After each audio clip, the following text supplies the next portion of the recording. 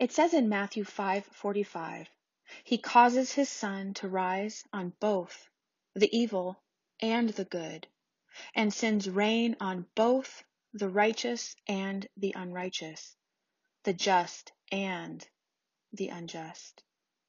So in reading this, we know it's coming. The storm is coming. So how do you prepare for the storm? Whatever that storm may be. Job, health, relationship, sickness, or death. How do you prepare?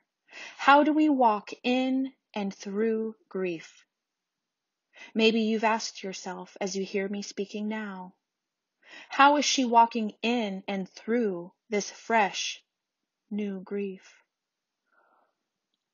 How, in only a few short months, is she speaking to us about such a delicate and painful subject? Remember last time when I told you about my prayers? The one I prayed twice on two separate occasions, asking God to prepare my heart for what was about to happen. The best way to walk in and through grief is to be prepared for it. In Psalms 119:11, it says, "I have hidden your word in my heart." In Deuteronomy 6 6, it says, These words that I am giving you today are to be in your heart. Be prepared for your storm.